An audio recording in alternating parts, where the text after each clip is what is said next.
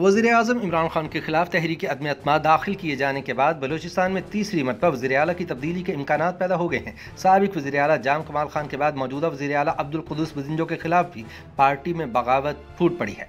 मरकज में वजी अजम इमरान खान के खिलाफ तहरीक अदम अतमाद के बाद सूबाई हुकूमतें भी लरजना शुरू हो गई हैं। पंजाब में उस्मान बुजदार के खिलाफ पार्टी के अंदर से बगावत की बाजगश के बाद बलोचिस्तान में मीर अब्दुल कुदूस बजिंजो की सरकार भी डामाडोल दिखाई देती है। सियासी तजियाकार समझते हैं कि अगर तहरीक अदम अतमाद के नतीजे में। मरकज़ में कप्तान की छुट्टी हो गई तो पंजाब, बलूचिस्तान और के पी में भी वज़ीर अला की तब्दीली लाजमी होगी। बलूचिस्तान की सियासत पर गहरी नज़र रखने वालों का कहना है कि मीर जहूर बुलेदी और दीगर पार्टी रहनुमाओं की मिली भगत से बाप पार्टी के जाम कमाल खान को इस्तीफ़ा देने पर मजबूर कर देने वाले अब्दुल कदूस बजिंजो अब मकाफात अमल का शिकार होने जा रहे हैं। अब बजिंजो को अपनी ही जमात के मीर जहूर बुलेदी और हाल ही में पी टी आई छोड़ने वाले सरदार यार मोहम्मद रिंद के इश्तराक से वज़ीर अला बलोचिस्तान की कुर्सी से गिराने की मुहिम शुरू कर दी गई है। याद रहे कि बलोचिस्तान के सबक वज़ीर बरए planning and development Zahoor Buledi ने छह माह कबल सियासी बहरान के दौरान अब्दुल कदूस बजिंजो का साथ देकर वज़ीर अला जाम कमाल खान अलियानी को इस्तीफा देने पर मजबूर किया था। अब जहूर बुलेदी ने वजी अला अब्दुल कदूस बजिंजो के खिलाफ तहरीक अदम अतमाद लाने का बाकायदा ऐलान कर दिया है।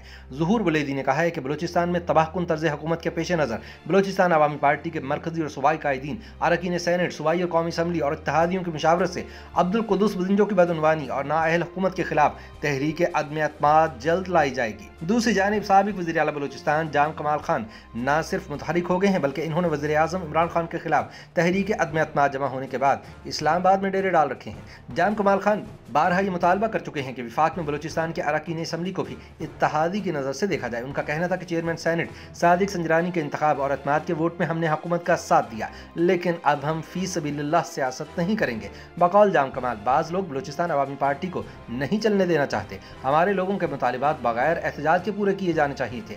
याद रहे कि जाम कमाल से हाथ मिलाने और अब्दुलकुदस बिंजो के खिलाफ खड़े होने के बाद जहूर बुलेदी से वजारत प्लानिंग एंड डेवलपमेंट का कलमदान भी वापस ले लिया गया है। इस्लामाबाद में सियासी हलचल और बलोचिस्तान के सियासी अमूर पर नज़र रखने वाले सहाफ़ी समझते हैं कि बलोचिस्तान अवामी पार्टी अब एक तीर से दो शिकार करना चाह रही है। चूँकि इस वक्त वजी अजम इमरान खान के खिलाफ तहरीक अदम अतमाद जमा हो चुकी है। लिहाजा जाम कमाल और इनका ग्रुप मौके का फ़ायदा उठाकर अपनी हिमायत के इवज वजी अजम से कई मुतालबात मनवा सकते हैं। मुमकिन तौर पर विफाक में जाम कमाल के ग्रुप को वज़ीर ममलिकत का अहदा मिल सकता है और वह तहरीक अदम अतमाद के खिलाफ ही वोट करेंगे, ताहम वो सियासी दबाव बलोचिस्तान के हवाले से डाल रहे हैं। ख्याल रहे कि कौमी असम्बली में बलोचिस्तान अवामी पार्टी के पाँच अरकान हैं जो इस वक्त दोनों तरफ़ से फ़ायदा उठाने की कोशिश कर रहे हैं और विफाक में कोई हिस्सा लेने के अलावा सूबे में वज़ीर अला की तब्दीली भी इनके मनसूबे का हिस्सा है।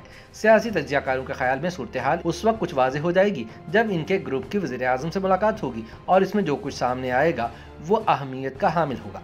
दूसरी जानब, बलोचिस्तान के सियासी मामला और तब्दीलियों पर गहरी नज़र रखने वाले मुबसरीन समझते हैं कि बलोचिस्तान अवामी पार्टी जो दो धड़ों में बढ़ चुकी है, उसका एक हिस्सा वजी अजम के हक में और दूसरा मुखालफत में जा सकता है। इनके ख्याल में अगर मरकज़ में वजी अजम के खिलाफ तहरीक अदम अतमाद कामयाब हो जाती है तो दूसरी तब्दीली बलोचिस्तान में आ सकती है। तजियाकारों के ख्याल में वैसे तो तब्दीली पूरे मुल्क में आती हुई नज़र आ रही है। ताहम मरकज़ के बाद पंजाब चेयरमैन सैनट और बलोचिस्तान में तब्दीली के वाज इम्कान मौजूद हैं, जबकि पंजाब में बुजदार सरकार पहले ही शदीद मुश्किल का शिकार है, क्योंकि पी टी आई के अपने लोग उस्मान बुजदार को बतौर वज़ीर अला मजीद बर्दाश्त करने से इनकार कर चुके हैं।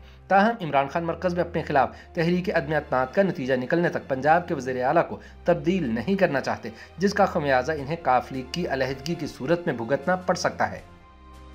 YouTube पर गूगली न्यूज़ देखने के लिए YouTube.com की सर्च बार में गूगली न्यूज़ टीवी टाइप करें। गूगली न्यूज़ के पेज पर सुर्ख रंग के सब्सक्रिप्शन वाले बटन पर क्लिक करना ना भूलिए। YouTube पेज पर अपलोड होने वाली वीडियो से बाखबर रहने के लिए बेल आइकन पर क्लिक कीजिए। आपको हर नई वीडियो के बारे में नोटिफिकेशन मौसू हो जाएगा।